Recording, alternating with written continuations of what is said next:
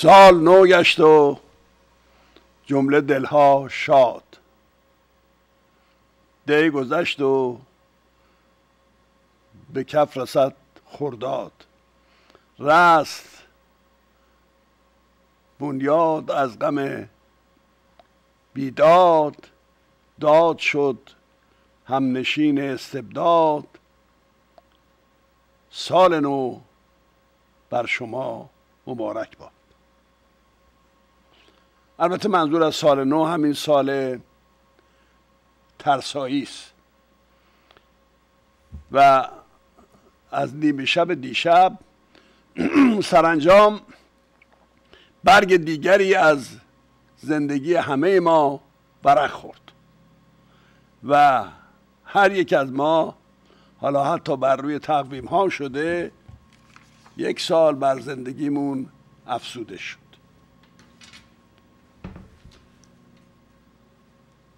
آدمی از زمانی که تمرین خاطره و یاد می‌کنه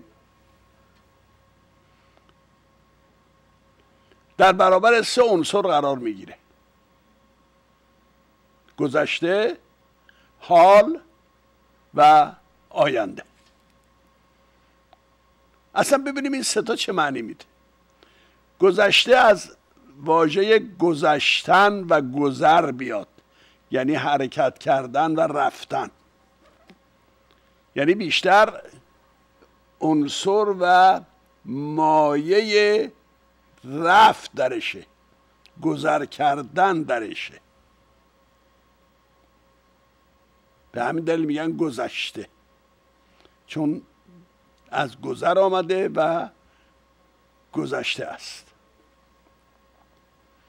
حال. حال رو بدبختانه 90 درصد از ما فارسی زبانانی که عرب رو به کار می‌بریم و خیال می‌کنیم فارسیه خنده آوره پریروز یه چی نکته دیگه یادم اومد. آقای حداد عادل پدر عروس رهبر معظم دنباله امامت. کردنش این آدم بی سواد رو رئیس فرهنگستان زبان ایران. لغت خیلی بزرگه. فرهنگستان زبان ایران یعنی آکادمی زبان. و وقتی میگن زبان ایران یعنی زبان فارسی. آقا شده رئیس فرهنگستان. حالا من برمیگردم رو بحث گذشته و حال آینده میگم که امثال این آقایونی که به اصطلاح رئیس فرهنگستان شدن اینها خودشونو زبان شناس می‌دونن. این آقا در مصاحبه با خبرنگار وقتی ازش پرسیدند که آیا شما از اینکه فامیلتون یعنی رئیس فرهنگستان زبان ایران هست. حداد عادله. نظرتون چیه؟ خب این ایراد نیست که به منم می‌گیرم من میگم بله. هم نام من بدبختان تازیه هم نام خانوادگی میپذیرم که تازیه. اما میگم نامم رو پدرم نام خانوادگیم رو پدر بزرگم برگزیده. من گناهی ندارم. ولی در برابر فرزندانم اون دو فرزندی که داشتم و دارم هر دو رو من فارسی گذاشتم. این تا اینجا که این وضعی داشتم. بقیهش در اختیار خودشونه. می‌تونن بیان عوض کنن یا نه. من چرا نکردم؟ نخست که بسیاری از مدارک اداری و اجتماعی و تحصیلی من به نام خانوادگی نام کنونی من بود. بنابراین یکسری اینها زیر و رو می‌شد و دشواری ها و ناهنجاری های فراوانی داشت. بعدم حالا ما چیز مهمی نیستیم پس فردام که درگذشتیم درگذشتیم. ما باید زبان رو نیرومند کنیم. زبان که نیرومند شه اینا فرع داستانه. پس تا اینجا اما آقای ف... حداد عادل چه جواب گفته من حداد عادل فارسیه. خوب دقت کنید رئیس فرهنگستان حقم داره. می‌دونید چرا؟ برای که قانون فرهنگستان که آخوندها از مجلس گذروندن زبان عربی رو زبان قرآن دونستن که دست به ترکیبش نباید زد. هرچی می‌خوایم فرانسه و ترکیه و روسیه و انگلیسی رو عوض کنیم. ما بدبختیمون زبان عربیه. زبان انگلیسی اولا خودش چیره زبان فارسیه. بسیاری از بسیاری از واژه‌هاش و بسیاری از واژه‌هاش ریشه فارسی داره. همچنین فرانسه. همچنین آلمانی. ولی آقا میگه که زبان یعنی اون اربابانش که قانون رو تصویب کردن میگن زبان پارسی زبان تازی زبان قرآن باید باشه. برید با لغات فرانسه و انگلیسی هر کاری می‌خوایم بکنی بکن. حتی بعد از انقلاب یه مجله در ایران مجله سپاه پاسداران منتشر می‌شد. به من تاخته بود همون تو سه چهار ماه اول که این آقا اولا فارسی هم داره که زبان اسرائیله. خب جمله رو شعور رو ببینید. زبان فارسی زبان فارسی سره زبان اسرائیل یک. دوم این آقا شده چی؟ شده کتاب فرهنگنامه زبان فارسی. و تاخته بود. ما خب جو جوی نبود که جواب بدیم که در حال اومدنم به خارج از ایران هم بودم. این بود که مسئله رو نشنیده گرفتیم و حل منظور بینه اینا از آغاز با زبان فارسی مخالف بودن آقای خمینی اون کفتار خونخوار که مثل همه آخوندا خودشو نخود هر آشی می‌کرد در کتاب اسرار و توحید بسین که به کسروی که تاخته چون کسروی فارسی سر حرف می‌زد نوشته این آقا که با زبان یعجوج و معجوج. بخونید. هست. هست. با زبان یعجوج و معجوج سخن می‌گفت و می‌گوید این آدم ساکت نشستی. بزن پدرشو دراری. حالا زمانی می‌گفت که اصلا کسی آدم نمیدونستش. زمان آغاز پادشاهی محمد رضا شاه. اون سال 26 و 27 یا فرسای 32 و 33 اینا اینا انقدر گستاخن. اصلا شما گستاختر و پرروتر و وقیتر از آخون محال پیدا کنید. هزاران نمونه من براتون میارم که انقدر اینا وقیهن که اصلا نمی‌دونن چی میگن. یکی دو نمونهش امروز براتون خواهم گفت. بنابراین دشمن زبان فارسی بودن یک انجمنی این امام جمعه ها مفخورها پولایی که انگفت می‌گیرن جمعه به جمعه میرن یک عراجی فیلم میگن یه پولی می‌گیرن. اینا یه انجمنی دارن به نام انجمن ائمه جمعه. شغل با ائمه جمعه. بعد تو اون انجمن اومدن اساسنامه درست کردن. در اساسنامه نوشته که خوب ببینید. من تو کتاب در جرفای واژه ها نوشتم و مادهش هم گذاشتم. نوشته زبان اجتماع بین المللی ائمه جمعه زبان عربی است. خب از اینا چه توقعی میشه داشت؟ خمینی هم هست. همین چیز بوده دیگه از همین کالا بوده. بقیه هم همینطوره آقای حداد عادل هم همینطوره حداد عادل میگه زمانی که من فامیل گرفتم اولا حداد فارسی بود. حداد درسته یعنی مردک اگه حداد یعنی فارسیه آهنگر یعنی چی؟ عادل هم فارسی بوده. به جایی که بگه بله بعد البته بعد دیگه دید خیلی خراب کرده گفت خب اینا رو پدر پدر بزرگ و پدر من گذاشته. خب اینو اول جون بکن بگو. رفتی مزخرف گفتی خودتو مشتتو باز کردی. حداد فارسیه عادلم فارسیه. بنابراین ششگان من, من فارسیه اسمم فارسیه. ببینید چقدر پر روان خب به هر حال اونم نسبتی با آخون داره دیگه. وصلت کردن دیگه. تنش به تن اونا خورده. رئیس فرنگستان زبان ایران میگه حداد و عادل فارسیه. همونطور که چند وقت پیش گفته اون سلسله فارسیه. این آقا اومده زبان فارسی رو درست کنه همین مشکل برای بقیه مسائل ما هست. حالا داستان گذشته حال و آینده است. گذشته رو معناش رو فهمیدیم که از لغت گذشتن و رفتن میاد.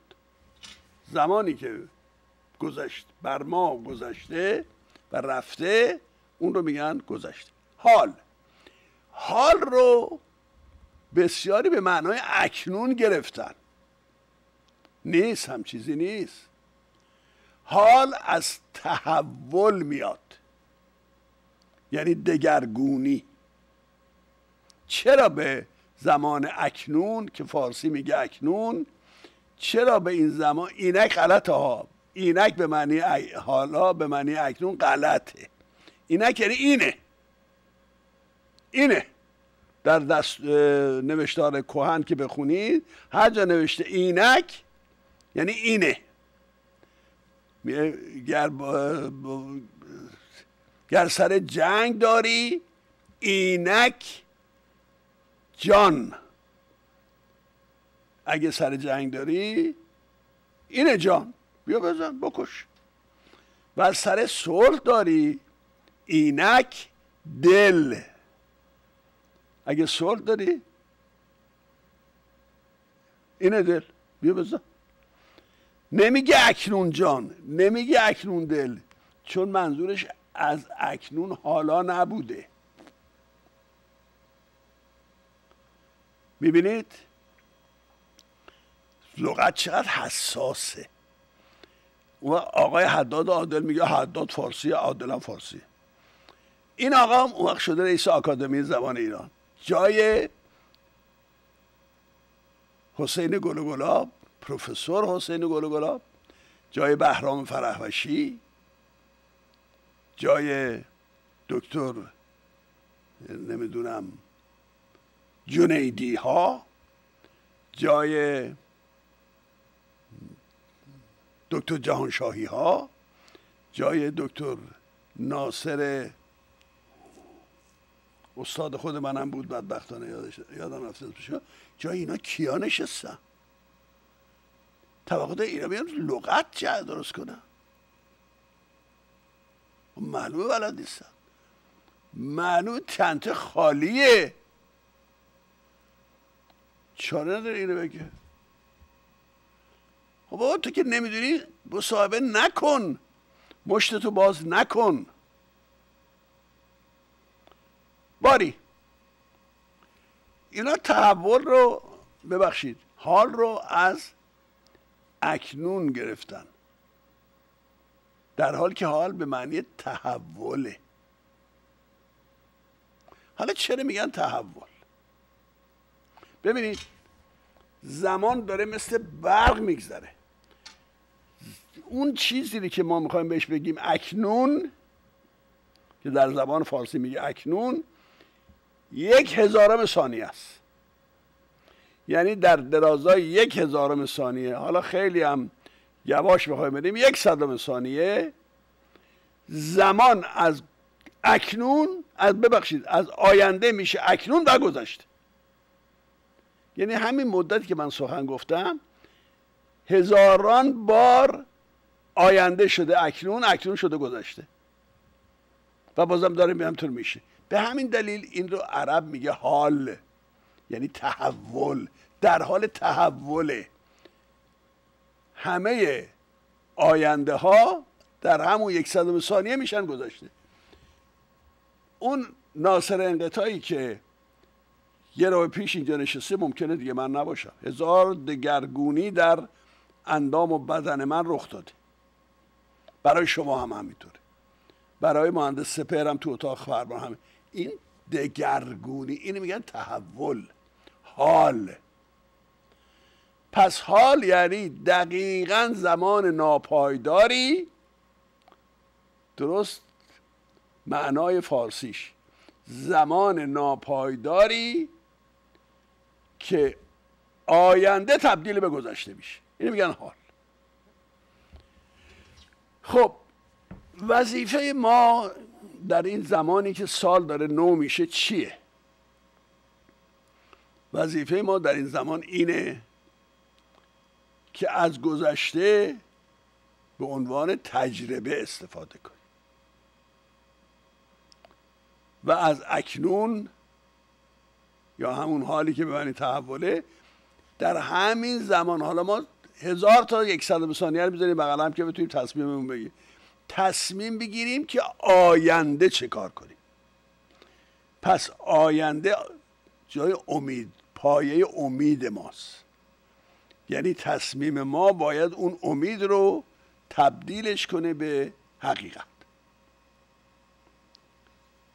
تصمیم برای آینده هر کسی وظیفش در آغاز سال نو انجام بده. من آینده چی کار می‌خوام کنم در سال آینده و طور کلی در آینده. خب قبلا ما جوان بودیم و درس میخوندیم. تصمیم دارم امسال قبول شم دیگه برم مثلا برم دانشکده. یا مثلا تصمیم دارم لیسانس هم بگیرم یا دنبال کنم کارم یا اینکه برم سر یه شغل اما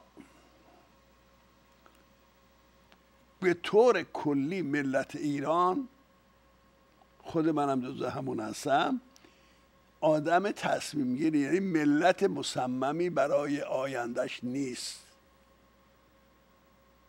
کدوم ما برنامه ریزی کردیم که در این زمانی که نشستیم فرض کنید حالا پای سفره سال نو مسیحی. به سال نوه. مردم تو خیابون ایستادن هشت هفت شیش پنج چهار میشمارن که سر ساعت دوازده سال نو بشه. کدوم ما گرفتیم که حالا تصمیم گرفتیم این ما این سال چیکار نه. دوباره شروع می‌کنیم فردا صبح بالا میشه میریم سر کار میام می‌برم ضرر این کار چیه؟ ضرر کاری نیست که اندیشه ما ثابته. اندیشه ما پویا نیست. آخوندم همینی می‌خواد. آخوند خودش هم ثابته. خودش هم 1400 سال تو لجن مونده. منتها یه قلدری یه به قول معروف خررنگ کنی دنبالشه. بلد این کارو. یه عده ابله رو دنبال خودش هم کرده. سوار اونا شده. زورش هم به وسیله اونا تأمین می‌کنه. پدر بقیه هم در میاره. حالا که قدرت هم به دست شفته. خودش بارها گفته. زبان میگم آخوند هم ابله هم گستاخه. مرتب در زنده جمله ها من شنیدم میگه که ما خیال کردیم اومدیم که بریم. نمیگه اومدیم بسازیم. نمیگه اومدیم وظیفه ملی انجام بدیم. نمیگه اومدیم کشور رو درست کنیم. نمیگه اومدیم نوکر شما ملت باشیم. میگه اومدیم که بریم. سوار کار شدیم. با زبان بی زبانی نمیگه ده ها بار گفته. بنابراین اصل مسئله وقاحت و گستاخی توأم با همه در نزد آخوند آخوند این دوتا رو با هم در آمیخته. گستاخی و حماقت. حماقت و گستاخی. که البته گستاخی و وقاحت یکیه. فارسیشو من گفتم دیگه انگلیسی این مسئله بارها و بارها ثابت شد. هم ده روز نشده. آقای اون کیه جنتی اومد که احمق میگه مصباح یزدی ببخشید. مصباح یزدی میگه عجب اسم جالب این جوانای دانشکده امیر کبیر روش گوشتن تمساه یزدی میگه در هیچ جای دنیا شما نشنیدید که یکی از اعضای رهبری یک ملتی این مزخرف رو بگه. میگه رأی مردم دارای هیچ اعتباری نیست. نه در قانون اساسی نه در انتخابات ریاست جمهوری نه در انتخابات مجلس شورای ملی در هیچ جا رأی مردم ملاک هیچ اعتباری نیست. مگر اینکه ولی فقیه تایید کنه. این وقاحت دوم. این گستاخی دوم. مردک تو غلط می‌کنی میگی رهبر یک ملتی هستی پیشوا یک ملتی هستی دو عضو دولت یک ملتی هستی.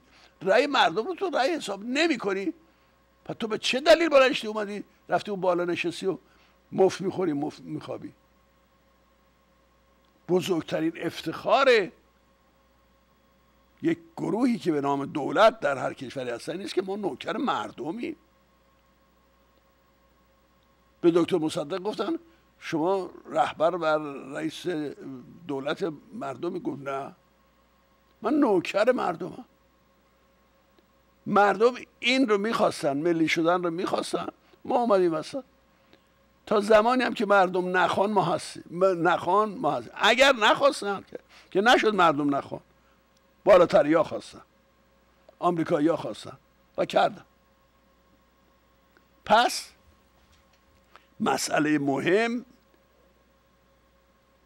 نوکری ملت نه اینی که بگی رأی مردم دارای چه اعتبار نیست مگر آقای رهبر معظم یا ولی فقیه. حالا از بس این لغت ولی فقیه کثیف و ابلهانه و احمقانه است که یک ملتی رو بیان در درجه پایین بیارن و بکننش محجور کودک غیر ممیز. حالا باز کودک غیر ممیز و دین میگه که 18 سالش که شد ممیزه. و بالغه.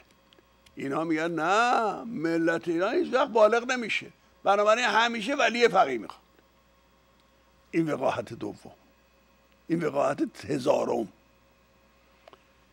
حالا اینا اینا اومدن. این بر سر این ملت فلان کلاه گذاشتن به نام ولی فقیه. خیلی خوب. آوردین گفتیم ولی فقیه. هر غلط که خواستید که با زور و چکمه سپاه پاسداران و بسیجیاتون کردیم بعد اومدن چیکار کردن؟ بعد اومدن در این وسط میگن که شورای نگهبان باید مسئله صلاحیت هر کسی که می‌خواد رئیس جمهور بشه هر کسی که می‌خواد عضو مجلس خبرگان بشه هر کسی که می‌خواد نماینده مجلس شه تصویب کنه. آقا تو که میگی هر کی که اون بالا گنده بگه همون قبوله. پس چطور باز این پوله رو این وسط گذاشتی که هی بگیری بنزین کنار بگی نه تو نه تو نه تو نه. تو چی کاره ای تو چی کاره ای که آقا چه کسانی مثلا رفسنجانی رو صلاحیت کرد. رفسنجانی خودش توفاله از همه اینا بدتر. ولی آخونده. تو چطوری می‌تونی رفسنجانی رو سلب صلاحیت کنی؟ در دفعه پیش کردن سلب صلاحیتش کردن دیگه بر ریاست جمهوری. یعنی رد صلاحیت شد. برها این نکته جالبی است در اینجا که اینا با چنگ و دندان دارن این شورای نمی‌دونم نگهبان رو نگه میدارن. که اونجا به قول معروف پل خربگیری و شهر که بخوان جلوش می‌گیرن. حالا ما ملت بازم ابلهانه. هی می‌خوایم بریم اونجا دلمون خوشه. حالا تو رفتی توی مجلس. مجلسی که اومدن حرف بزنن خامنه یه نامه نوشت که ببندید این مسئله چیز رو و دیگه هم چیز نکنید. همین آقای کروبی که الان زده تو سرش توی خونش نشسته همین آقای کروبی گفت حکم حکومتیه باید گوش کرد. خاک بر سر تو رئیس مجلس. که یه آخوند میشه تو خونش بگه اینو ببند بگیم چشم میبندی. بس تو به نمایندگان گفت چی دیگه. خب فرض کن تو شدی رئیس مجلس. دیگه از کروبی که بالاتر نمیشه. همونی.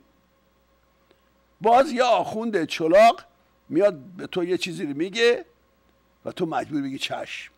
همینطور که آقای جنتی گفته بسپاه یزدی گفته که بله رأی مردم ملاک هیچ اعتباری نیست. در هیچ یک از انتخابات چه ریاست جمهوری چه انتخابات مجلس خبرگان و و و مگر اولیه فقیه اجازه خوب یادمه 7 سال پیش خبرنگاری با خامنه ای مصاحبه می‌کرد. خامنه ای گفتش که اگر یعنی خبرنگار پرسید گفت اگر اکثریت یک ملتی. یا اکثریت ملت. به صورت عام گفت. اکثریت ملت در مورد یک موضوعی رأی به یک دستور بده. آیا شما ناگزیر به اجراش هستی؟ خب من می‌دونستم که این آدم آخونده دیگه آخون نمیگه چشم که. گفت اگر در موضوعی اکثریت قاطع مردم رأی بدن به یک موضوع نگو من گفت ولی فقیه موافق نباشه رأی ولی فقیه نافذه. حق بازی آخوندی یعنی من؟ این جوابه. چطور تو مرد سرتو بلند می‌کنی در مجامع بین که بگی من رهبر یک ملتم. آقا نمی‌خوان مردم اکثریت قاطع میگه نه. مگه همون خمینی برای گول زدن مردم برای خر کردن مردم نگفت که میزان رأی ملت است؟ کجا میزان رأی ملته؟ ببینید ما در برابر یه همچی کفتارهایی قرار داریم. بنابراین وظیفه داریم وظیفه داریمش بینندگان ارجمند در آغاز سال از این به بعد تصمیم برای آینده سیاسیمون بگیریم من پیشنهاد می‌کنم از هم اکنون برای آینده تصمیم بگیرید که با این رژیم ابلهان دیوانه شده و گستاخ بجنگید به هر طریقی که توان دارید. البته من از یک هم زن سالمندی که در برون مرز اومده از یا برای دیدن بچهش یا از ترسش یا هرچی اینجا توقع ندارم سلاح دستش بگیره بره. توقع ندارم تظاهرات داخل مرز شرکت کنه. نه.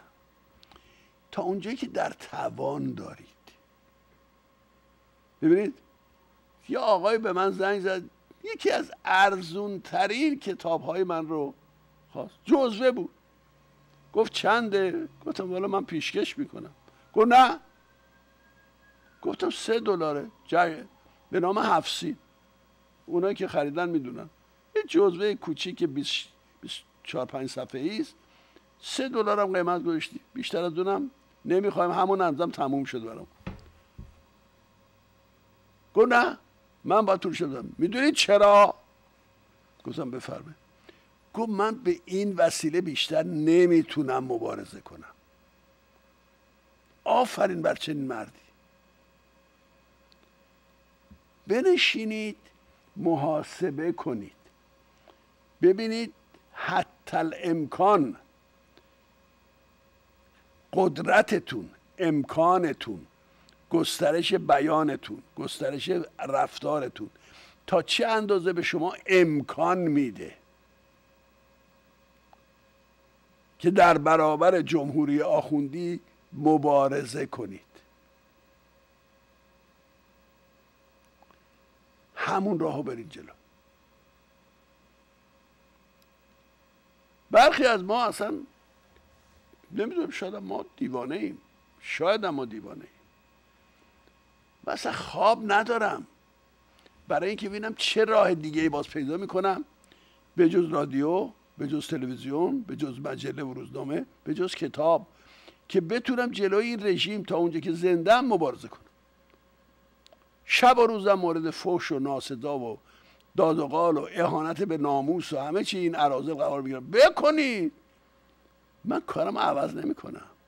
می‌دونم که مؤثر شده. می‌دونم. امثال منم زیادن. و هم هم دارن این کار می‌کنن. جوونایی که اصلا نامشون شما نشنیدید نه. اینا زنگ می‌زنن اینا میان این نوارها رو برمیدارن تکثیر می‌کنن. ببینید این مبارزه است. فرق نمی‌کنه. یک سنت هم نه من ازشون می‌گیرم نه اونا به من میدن. نه. ما می‌خوایم این کار بشه. ما از زنان و دخترانمون باید یاد بگیریم. سی و شیش سال این آخوند گستاخ و اون عرازل پیرو اون تو سر این بیگناهان زدن. بدترین اهانت ها رو بهشون روا کردن. تیغ خورد شده ریختن لای دستمال مالیدن به لبشون که با تیغ نماره لباشون پاره کردن. توی بشکه سوسک انداختنشون. قش کردن ضعف کردن. مبارزه کردن تا امروز. اینا هی سازمان درست کردن. هی این زنان لگت زدن اون خراب کردن هی کار جدید کردن هی کار جدید کردن هی کار جدید. مبارزه نگن شلوار تنگ پوشیدن نمی‌دونم ساپورت پوشیدن فلان کردن. اینا مبارزه است. ملت از عهده بر بیاد این کارا رو بکنید. هر اندازه که در امکانتون هست. من لغت امکان رو مخصوصا می‌برم که هر اندازه هر کسی تا یه حدی داره امکان. نه اینکه یه آقای برداره بر من یه نامه بنویسه چهار صفحه. بزرگترین شعارا رو بده بزنیم بکشید فلان کنید بیسال کنید این کارو کنید این کارو کنید. پدر آقل در بیاره فلان کنید. بعد اون تشبیه امضا محفوظ. ای بابا تو که تو آمریکا برای من نامه می نویسی که من اینو بخونم توی تلویزیون. بعد زیرش می امضا محفوظ. شجاعت تو کجا رفته؟ کسی از تو توقع نداشته این نامه رو بنویسی. یا ننویس یا در اون حدی که شجاعت داری بنویس.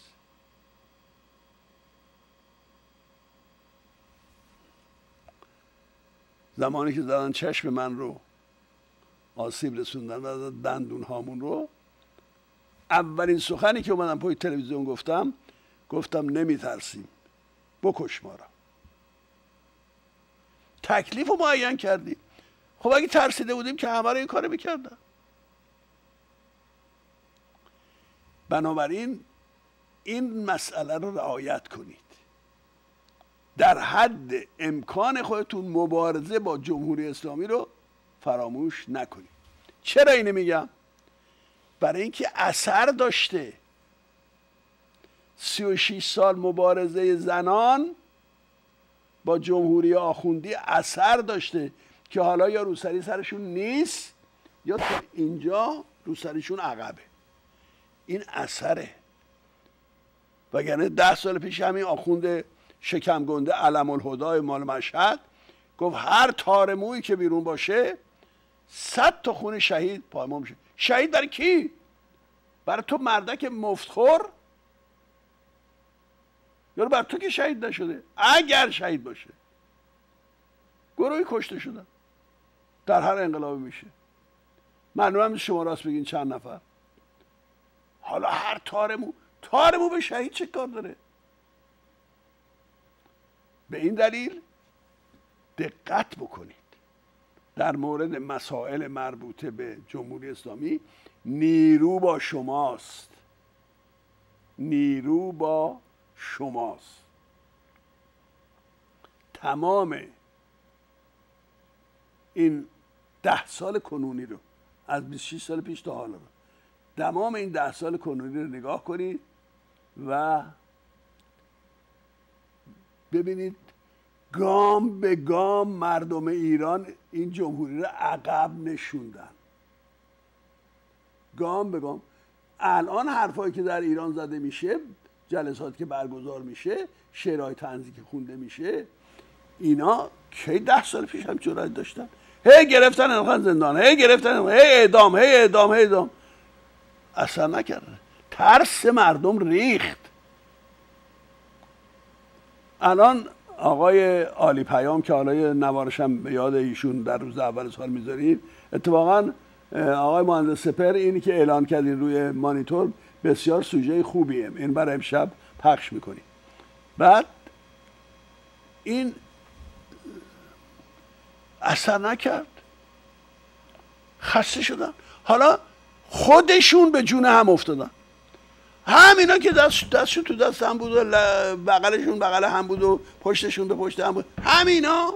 حالا این میگه اون خائنه اون میگه این خائنه اون میگه اون حالوه اون میگه این سگه اون میگه فلانه این کلاقه استفاده کنید. استفاده کنید. بذارید خودشون معرفی کنم اینا رو گنده کنید. رفسنجانی تا حالا رئیس تشخیص مسئلات رژیم رئیس خبرگان رئیس جمهور مشاور امام بود. حالا چهره قتل و کسافت و جنایتش پنهان بود. حالا میریزه رو داریه شما میریزید رو داریه از این برم اون یکی خامنه ای حق بازی و دزدی و روپوشونی داشته که سیادم که حالا میریزن رو داریه شما بریزید رو داریه بینا رو ضعیف کنید. دارن ضعیف میشن اینا از میدون در میرن اینا نمی‌تونن بمونن. اینا مگه اون همه شارت و شود نمی‌کردن؟ مگه احمدی نژاد مشنگ نمیگو آقا مسئله اتم تموم شد تموم شد. برین انقدر اعلامیه تحریم کنید تو تحریم دونتون درا. یه حرف یه رئیس جمهوره. کوش رفته تپیده توی سوراخ موش. همه اینا هم تسلیم شدن اومدن نشستن. هی مرگ بر امریکا اما نوکر امریکا. نشستن پیش آقای کری. کری؟ که هرچی کری گفت اینم کری هم فرماندهی اینا رو کرده امضا کرده بالاخره قبولون بهشون که شما چه و اما اول همزمان تحریم ها با امضا. امضا شد تحریم ها نشد. حالا تازه یازده مورد تحریما می‌خواد آمریکا اضافه کنه به خاطر موشک های دور برد. موشک قاره پیمای اماد. بنابراین نترسید. اینها تو سرازیری هن. برنامه ریزی کنید خودتون رئیس خودتون رهبر خودتون. اگه می‌تونید هم پیمان بشید با کسای دیگه. اگه نمی‌تونید تک باشید. به هر حال یک دست کم صداتره دو دست بیشتر صدا داره پنجاه دست بیشتر. اینو چه در داخل چه در خارج؟ ارتباط برقرار کنید هم میهنان در هر روز به طور متوسط یه روز اگر پنج تاست یه روز یکیه. به طور متوسط دو تا سه نفر از ایران به من زنگ می‌زنن.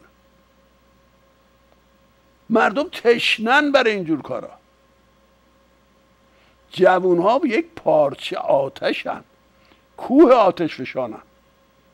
اینها رو دریابید. اینها نیروهایی هستند که نباید هدر برن. با سپاس از دوست بسیار ارجمندم آقای مهندس سپر آگهی رو پخش می‌کنیم بعد میریم بر سر دو تا سه تا برنامه و انشالله که سال نو بر همه شما خجسته باش راز ماندگاری هر ملتی نگهبانی از زبان مادری و سرزمین پدری است استاد ناصر انقطاب در درازای سی سال دور از زبان و میهن خود در راستای شناسانیدن این دو ستون نیرومند 24 کتاب در زمینه های فرهنگی، سیاسی و تاریخی نوشته است. پژوهشی درباره های ملی، بررسی زندگی پرماجرای قهرمانان ایرانی، کوروش، داریوش، آریا برزن، جلال الدین، بابک، یعقوب، نادر، حافظ، فردوسی، امیر کبیر و شناخت زبان و واجه های پارسی و دیگر بررسی های ژرف او می‌تواند بهترین راهنما برای ایرانیان برون و درون مرز در حفظ هویت ایرانی باشد. تلفن سفارش کتاب 661 254 87 57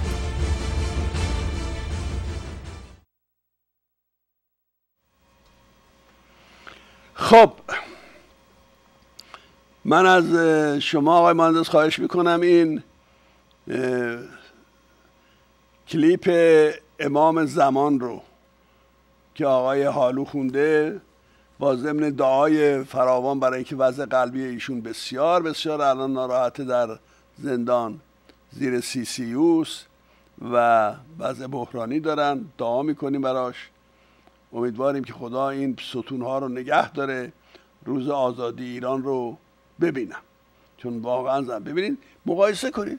یه آدم مثل این چنین مبارزه کرده گرفتنش انداختنش زندان. اومد بیرون همین کار کرد. دوباره گرفتن باز انداختنش زندان. اومد گفت من دارم میرم زندان ولی بر میگردم اینا کوهن.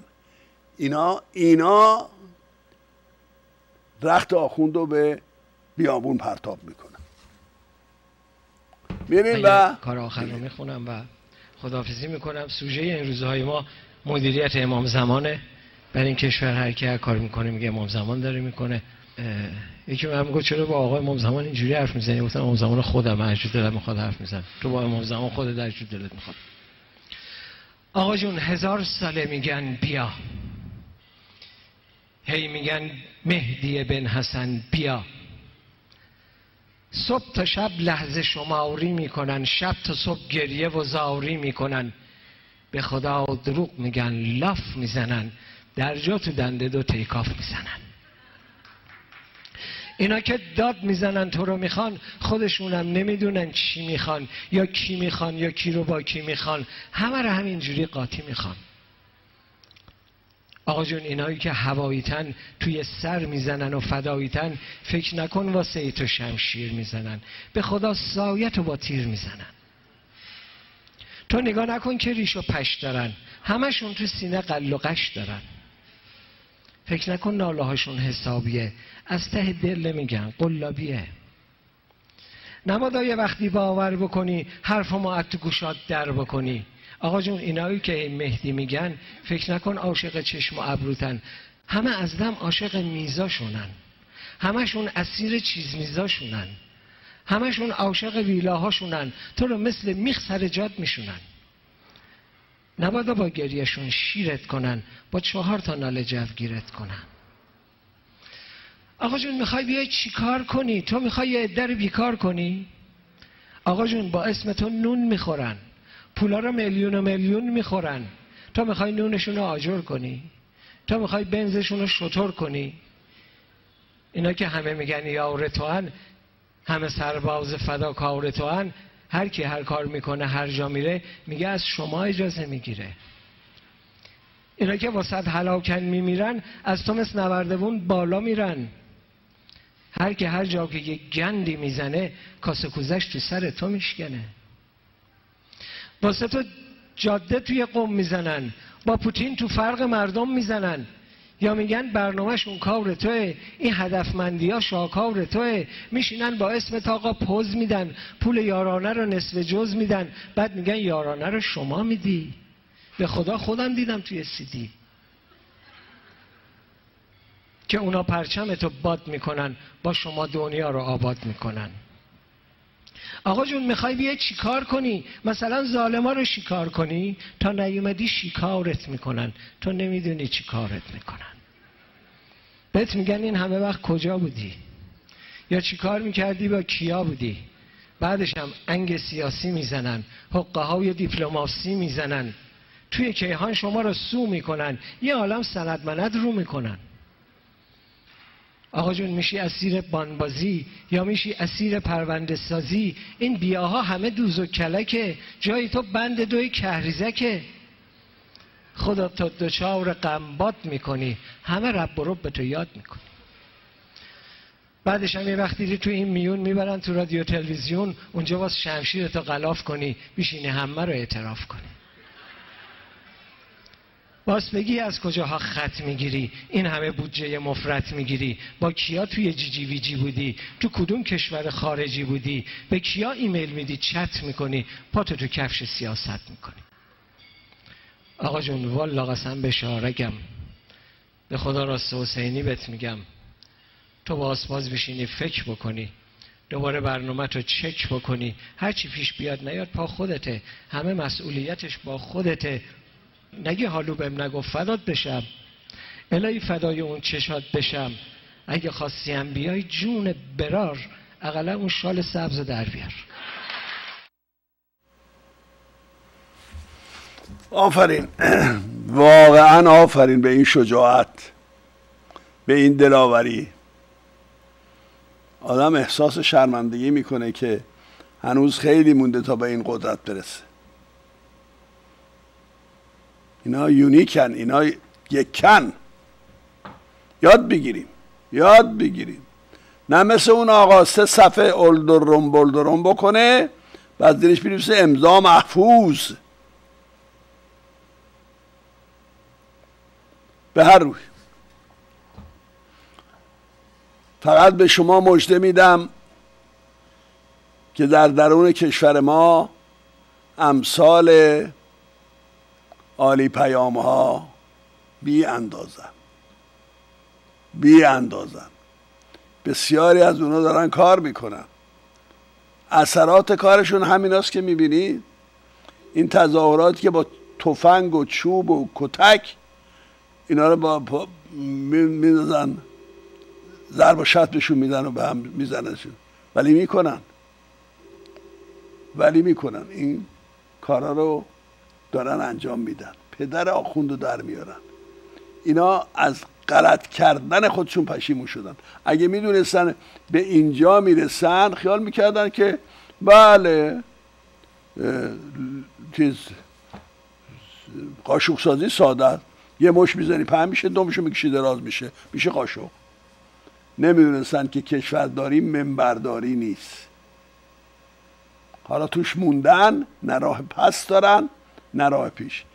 اینایی که من میگم تجربه است اینا آزمایش اینا پشت پرده رو من می‌خونم می‌بینم خبر داریم. داغونن اینها. نفر نه صنعت داری. نه اقتصاد داری. نه صنعت نفت داری. نه صنعت مس داری. نه ملت هوادار این هاست نه همبستگی اینها دارن نه می‌دونن چیکار باید بکنن. آقا این روحانی آخه ما من نمی‌دونم. مردم به چی اومدن؟